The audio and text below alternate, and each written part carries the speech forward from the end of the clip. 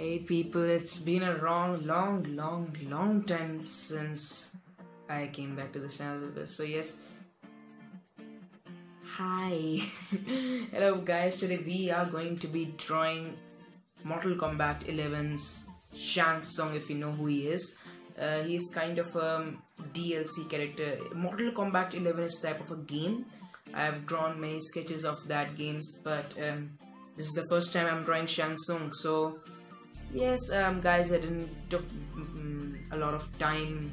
I just drew a little um, i just draw fast. So if you don't like the drawing please i'm sorry for it but i'm still learning as you all know and um, yes welcome back. And man it's weird right?